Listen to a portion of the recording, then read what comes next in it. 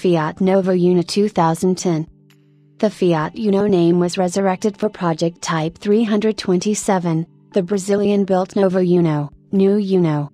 The new Uno is engineered at Brazil and co designed with Turin's Centro Stile Fiat, and is basically a more urban interpretation of the Fiat Panda style on a Fiat Palio. It is larger and roomier than the first, but smaller and cheaper than the second platform. The car has two options of engines the 1.0 Fire Evo, 74 horsepower, and the 1.4 Fire Evo, 87 horsepower, both able to use ethanol, gasoline, or a mix of both fuels. It is being sold in Brazil and several other South American countries as well, but it has yet to be confirmed whether this Uno will be sold in Europe.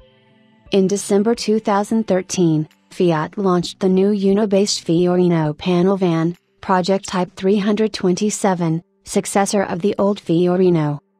In September 2014, Fiat unveiled a facelift for the Uno and introduced the start and stop system in the 1.4 fire engine. In 2016, Fiat launched another facelift for the Uno and introduced the Firefly engine, available as a 1.0 or in 1.3 engine. In 2018, Fiat removed the way and sporting trims and their versions with the GSR semi-automatic transmission and added a new drive version to be the new base model and only kept that and the attractive version only with the 1.0 Firefly engine and in mid 2018 the way version was brought back in with both 1.0 and 1.3 engines. A Brazilian Fiat Uno was tested by Latin NCAP in 2011 and has been rated as highly unsafe, scoring only one star for adult occupants and two stars for children.